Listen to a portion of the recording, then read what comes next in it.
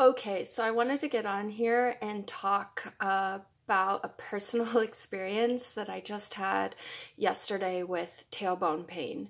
Um, so starting about three or four weeks ago, kind of deep in the backside of my left hip, kind of near my sit bone or my butt bone, anytime I would squat or kind of push off that leg, I was having a little tug or a little tension there, and I ignored it.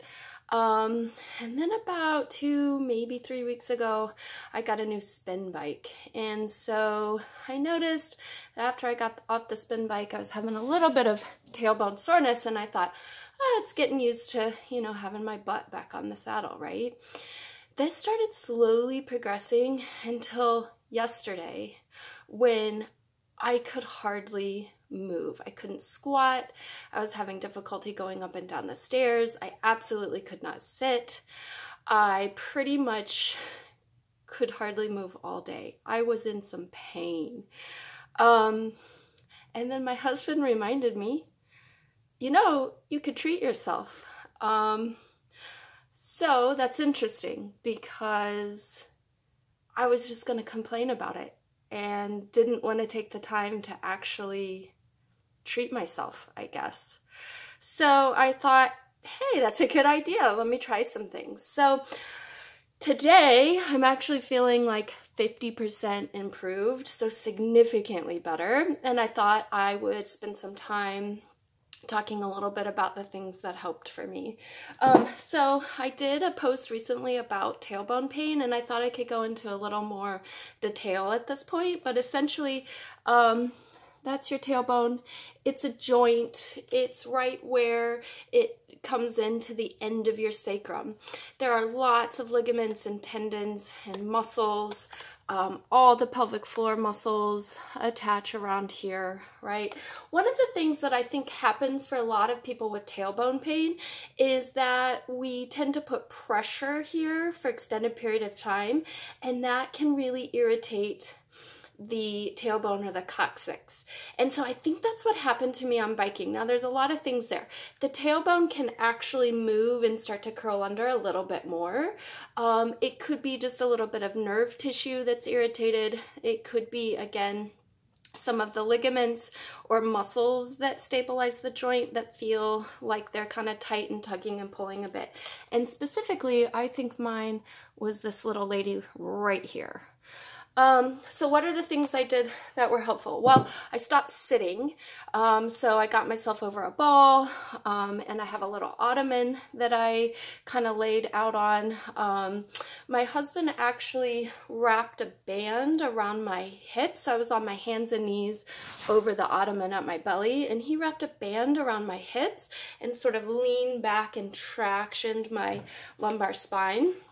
So the band was here and he kind of pulled to give me some relief. The other thing to know is that whatever the low back is doing, the tailbone will follow. So if I thought my tailbone was kind of pushed under a little bit, one thing that we can do to open that the other direction is actually put a little curve in our lumbar spine.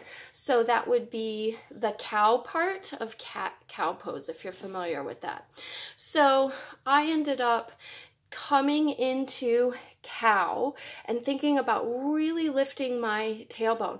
There I did an inhalation. See our diaphragmatic breath videos. There I did an inhalation and brought that breath all the way gently down into my pelvic floor. But the other thing I did then was a pelvic floor drop. So that helped if I thought there was a tight muscle that was pulling that, that helped kind of open and release that pressure on the tailbone. The other thing I did is I was lying on my back and I put my hands right here. And that sort of offloaded that area. That's really interesting too because I did a post about offloading this area if you're lying on your back when you're giving birth, so during delivery, to help keep the tailbone mobile. So I put my hands here. I came into a little bit of um, an anterior pelvic tilt and that puts a curve, that's lumbar extension or a curved low back, and I did my breath work there as well. Um, the last thing I did, and this was pretty intense, I would be really careful with this, um, is my pain was a little more to my left side, so I put a racket ball right along that area that was tender. So I put it here, I just held the pressure, and I worked the breathing, the pelvic floor drops. Um, also, ironically enough, yesterday I did a post on Serola Belt and I just happened to have that home with me this weekend because of that post and I'm using that today to help me as I'm doing laundry and move around the house a little more and that's also been really helpful. So let me know if you have any questions or thoughts about that. I really truly have empathy for people who have tailbone pain.